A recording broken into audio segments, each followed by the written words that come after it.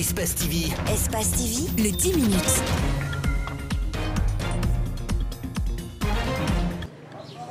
Mariam Bobo Diallo et sa fille Mamadou Bella Diallo viennent à peine de rejoindre leur dernière demeure ici au cimetière de Samatara.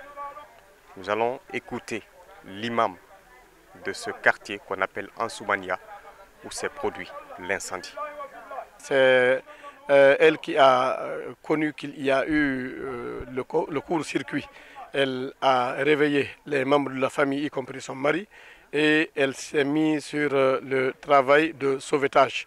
Malheureusement pour elle, elle a oublié que sa fille avec laquelle elle est calcinée était dedans, sortie alors que les flammes ont pris feu partout, elle s'est rappelée de sa fille. Vous savez, entre la maman et, son enfant, elle a trouvé qu'il faut qu'elle reparte pour essayer de sauver sa fille.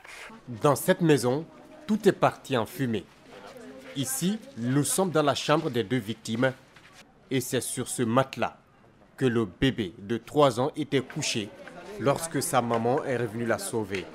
De sa rentrée dans la chambre, elle ne ressortira plus jamais avec une âme parce que tout simplement engloutie par des flammes. Son mari reste affligé.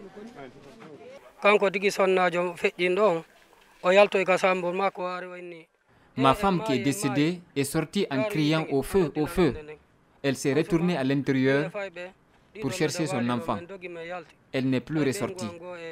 L'incendie s'est déclenché au salon. Ensuite, il s'est propagé dans toute la maison. À quand tout cela va s'arrêter?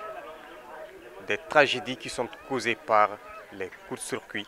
Il est temps que les autorités compétentes se lèvent pour prendre des dispositions nécessaires pour lutter contre ce mal qui a fini par ronger la société guinéenne. Ibrahima Kasseri Fofana cherche à se rapprocher de tous les politiques.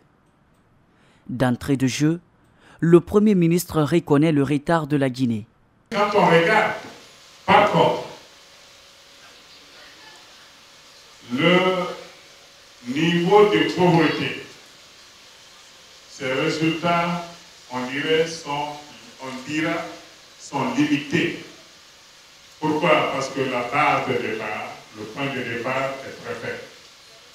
Une pauvreté à la base qui préoccupe Kassori Fofana, d'où cette visite rendue à un éminent économiste à la tête du parti PADES. Sur le plan politique, nous attendons de vous, nous saluerons de votre part un mémorandum sur ce qui vous semble être important pour prévenir les crises.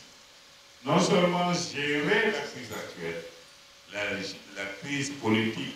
Quant à Dr Ousmane Kaba, la démarche est salutaire et il promet d'apporter son expertise quand le besoin se fait sentir.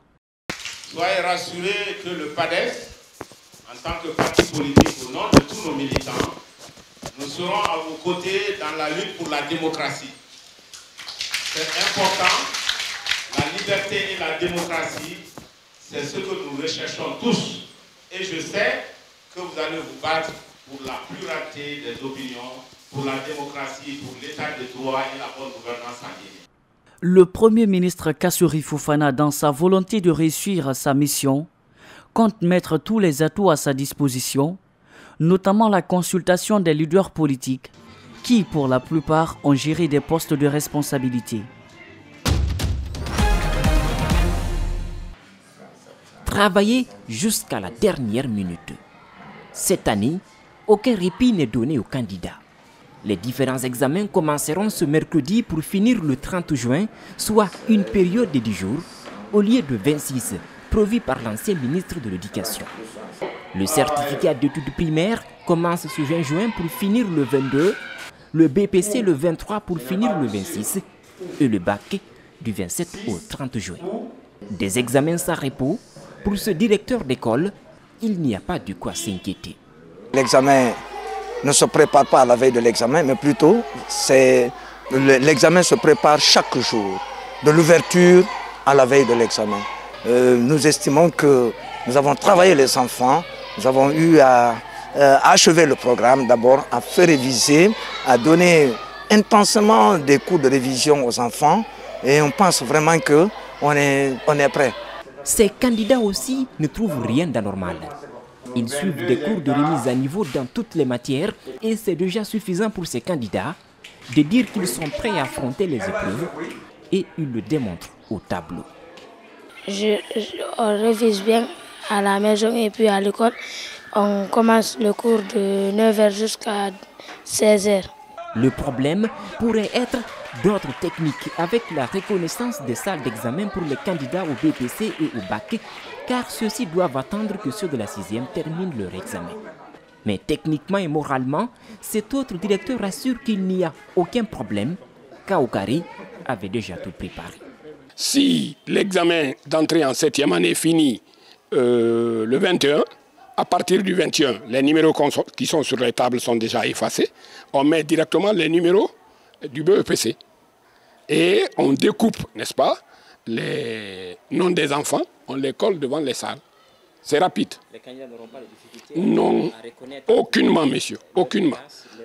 Aucunement. Ils connaissent déjà leur centre, ils savent que les chefs d'établissement vont leur dire allons-y à Oumoudiabi, n'est-ce pas Nous allons connaître nos salles maintenant. Voilà, il n'y a pas de problème dans ça. L'ancien ministre avait déjà tout préparé, mais avec le nouveau calendrier du nouveau ministre de l'Éducation, certaines épreuves risquent d'être lancées en retard.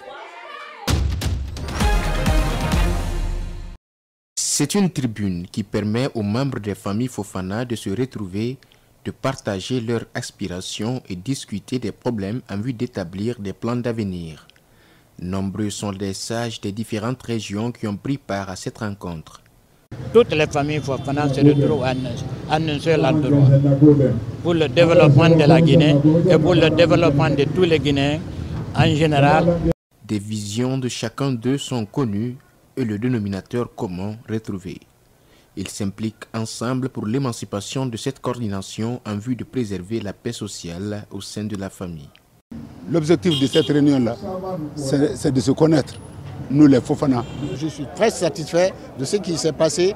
Bien, j'encourage, n'est-ce pas, tous les promoteurs, pas, pour que nous nous retrouvons eh bien, autour de cet idéal. Cette assemblée n'est pas à sa première, elle est organisée chaque année par ses fils et filles de la famille Fofana pour le renforcement des liens familiaux. Sur les rives de la mare de Bazoulé, les crocodiles et les hommes sont intimement proches, surtout quand il s'agit de déguster un poulet. Dans ce petit village proche de la capitale burkinabé, une centaine de reptiles cohabitent harmonieusement avec les enfants comme les adultes depuis des siècles. On s'est habitué avec les crocodiles quand on était petit à nager dans l'eau avec eux et tout ça. Et présentement, on peut toujours les approcher, toucher, s'asseoir dessus, tirer des photos. Même si tu as le courage, s'allonger dessus, faire des photos et tout ça, il n'y a pas de problème. C'est des crocodiles sacrés, ils ne font pas de mal à quelqu'un.